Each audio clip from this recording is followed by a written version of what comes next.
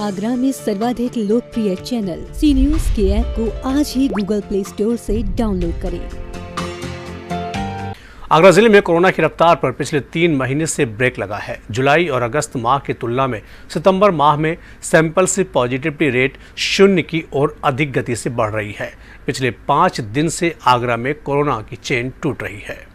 आगरा ज़िले में जुलाई के महीने में जहाँ 18 मरीज़ मिले थे, वहीं अगस्त में 25 मरीजों की पुष्टि हुई थी। लेकिन सितंबर के महीने में अब तक कोरोना संक्रमण की रफ्तार पर पूरी तरह ब्रेक सा लगा हुआ है। सितंबर के महीने में 24 दिन में एक लाख सड़सठ हज़ार छह सौ छत्तीस लोगों की कोरोना जाँच में महज आठ मरीज़ मिले हैं, जिसके चलते इस महीने में कोरोना संक्रमण की दर दशमलव ज़ीरो ज़ीरो चार सात फ़ीसदी है। यानी प्रति बीस हज़ार नौ सौ चौवन लोगों की जाँच में एक मरीज़ की पुष्टि इस महीने हो रही है। पिछले पाँच दिन से लगातार कोरोना वायरस की चेन आगरा में टूटी है। सितंबर के महीने में अब तक 24 दिन में 17 दिन एक भी मरीज़ आगरा में नहीं मिला है। Vijay Baghel, C news Agra.